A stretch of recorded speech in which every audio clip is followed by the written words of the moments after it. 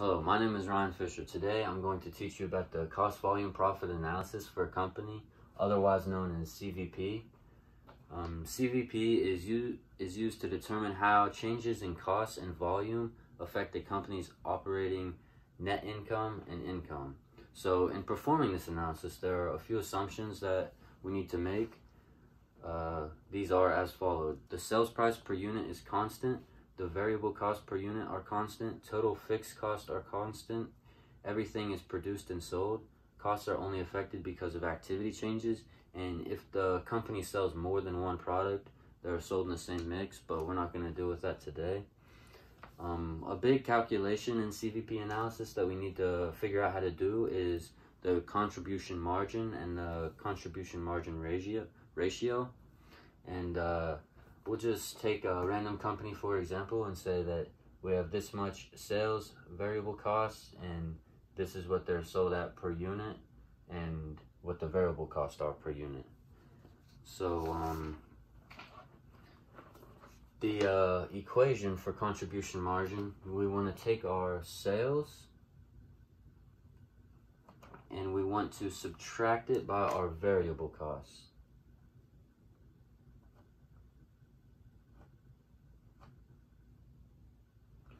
So this would be the sales minus variable costs.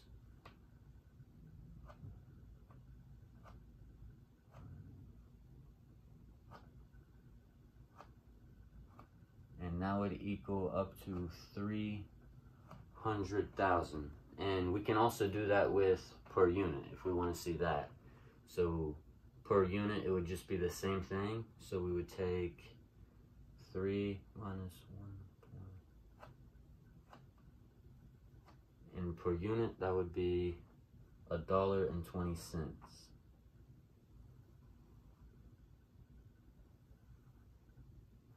So that is our contribution margin. And to figure out the ratio for this, we would do this equation.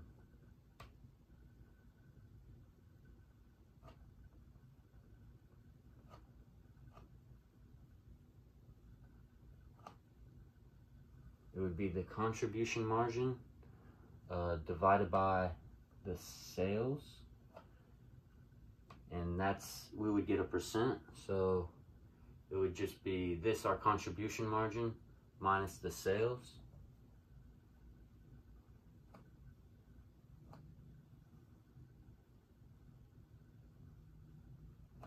And now would equal 40 percent.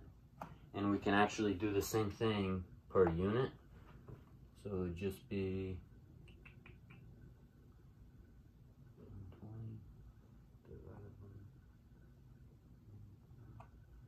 and that would equal 40% as well.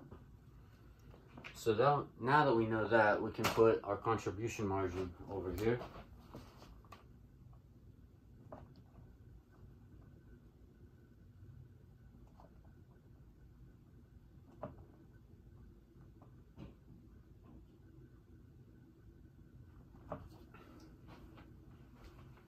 that would equal three hundred thousand dollars. Now, um, this can actually be used to help us find the break-even point. Uh, the break-even point is whenever the uh, level of sales where the net income is equal to zero. So, um, to figure this out, that would mean that our fixed costs would equal 300,000. So we can put that down for our break-even point.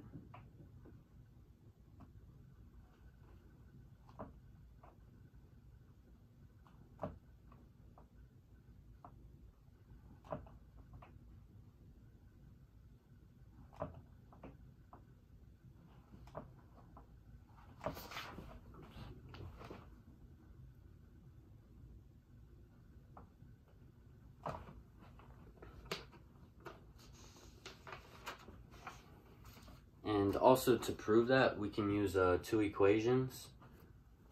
Uh, we can use the total fixed cost divided by the co contribution marginal ratio, or we can do just the variable cost plus the fixed cost would equal the uh, break even. So put that up there.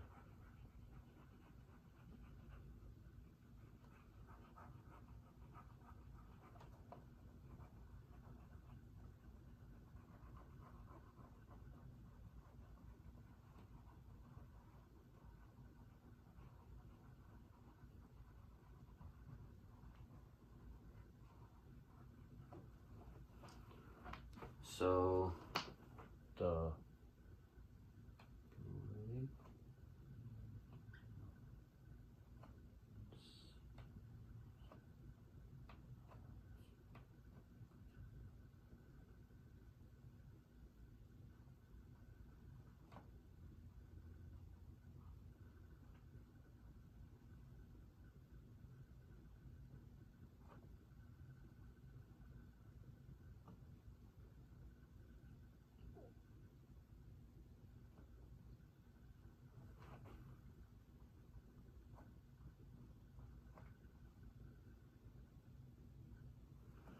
So one equation for this is the total fixed cost divided by the uh, contribution margin ratio.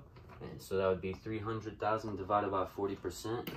And that would equal to 750,000. So that means that we would have to get 750,000 sales to break even. And uh, another way to actually do this is the variable cost plus the fixed cost. So variable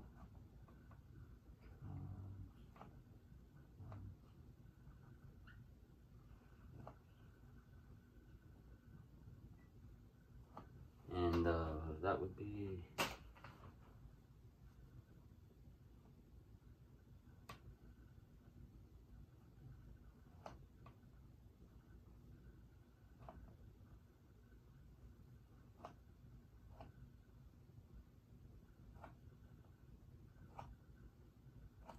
and as you can see. Okay so after we find out this information I've created a graph so we can better understand uh, the CVP and analyze it visually.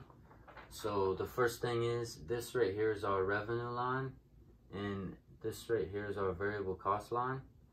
So whenever these two meet that creates a break even point. point and as we can see we would need to sell 250,000 units and that would give us a revenue of $750,000 and that's our break even. So as we take a look at this, we can realize anywhere above this break even point would be called our profit area. And anywhere below that break even point right there would be our loss area. So as we take a look at this and we think in terms of a company, obviously we want to be in the profit area where we're making money. So next I'll go into uh, targeted income and uh, I'll show you a few uh, equations where we can figure out how much quick explanation on targeted income. So say this company wants to make $60,000 of income for the year. Uh, first we get our equation and it's the required sales in dollars. Um, is equal to the fixed cost plus the targeted income, all divided by the contribution margin ratio. And as we fill in those spots, we get 300000 plus $60,000 as our targeted income. And we divide that by 40%, which is our contribution margin ratio. And after doing that and putting it all in the calculator, we would get $900,000 as our uh, required sales to uh, meet our targeted income of six sixty thousand dollars. And we can also do the same thing for units. So it's the same equation just per unit. And as we put this into our calculator we get 300,000 units that need to be sold that year to meet uh, our targeted income now, of course, this does not take into account the uh, taxes. So because this is a company, we need to uh, take into account the taxes. So all we would do to this formula is we just add income taxes to the formula. I'll just use I, IT for short. We can do it to both equations.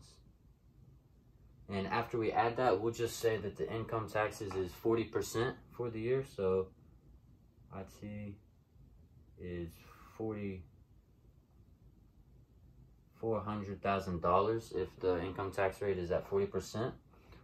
So after we add that, uh, if we put it into our calculator, we would get this would change to $1 million, and this would change to 333,333 units. And uh, so obviously the uh, income tax rate would affect this. We'd have to sell a lot more units in order to meet our targeted income.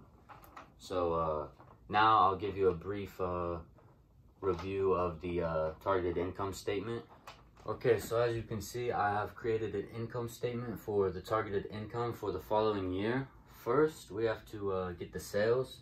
That would be $1 million. The variable cost would be $600,000. And to get the contribution margin, earlier as we saw, you have to take the sales and subtract it by the variable cost. And that give us $400,000. Um, the fixed cost would still be, uh, to break even, would be $300,000.